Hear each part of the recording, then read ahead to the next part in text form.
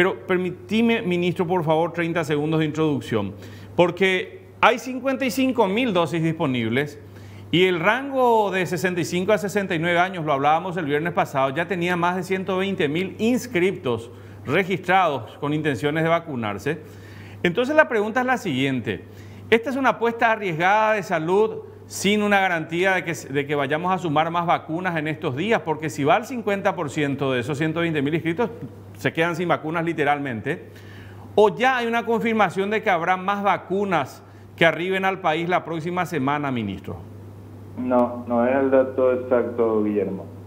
Son 74 mil, 71 mil inscriptos que están en el rango entre 65 y 69 años. Ah, son 71 mil, no son 121 mil como nos había dicho entonces. 121 mil son los que están según encuesta y censo.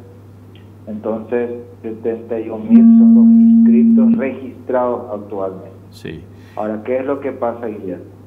Nosotros nos fijamos en ciertos números, ciertos detalles que llaman poderosamente la atención, que es lo que estamos trabajando ahora, que solamente tenemos de los registrados un promedio de 50% que están acudiendo a los vacunatorios. Sí.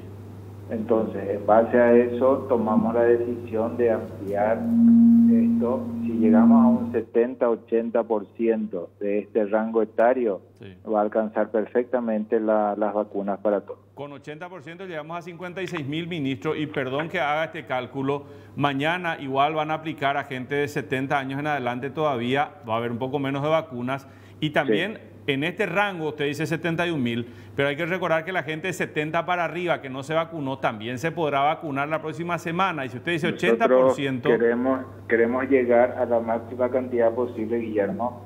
Nosotros tenemos vacunas ahora y queremos alcanzar especialmente este rango etario que son los que tienen vulnerabilidades y de que pueden llegar a necesitar de la atención en un servicio de salud. Sí, no, eso, ministro, perdón, yo creo que está muy claro y me parece bien que se usen todas las vacunas. Finalmente, uno no va a guardar vacunas que están disponibles.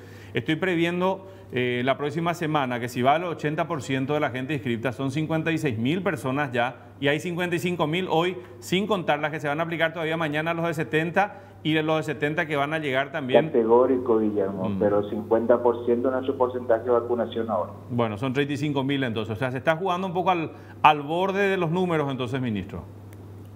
En realidad, desde que empezamos la vacunación, no, no, no te voy a decir que no jugamos, pero era la población era un poco mayor, pero lastimosamente no llegamos a ese número. O sea, la gente, a pesar de estar registrada, no acude. Entonces vamos a darle la oportunidad a la gente que quiera vacunarse realmente.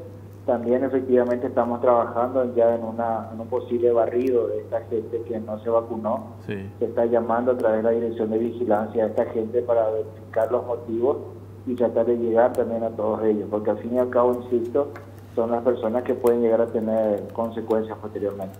Finalmente, dos consultas, ministro. Habríamos hablado sobre la autorización que debía darse hoy para un lote de vacunas para Paraguay y mañana para otro lote, hablábamos de la Sinopharm y de las Moderna. ¿Hoy ya se produjo esa autorización, la que correspondía al día domingo o no?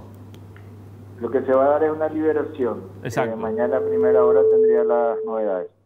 Y mañana debería darse la segunda liberación entonces también. Si Dios permite. Pero sigue firme, digamos, aquello de que podrían llegar en los próximos días, no sabe usted aún cuándo, aquellas 250 mil Sinopharm y 100 mil Moderna. Así mismo, Guillermo.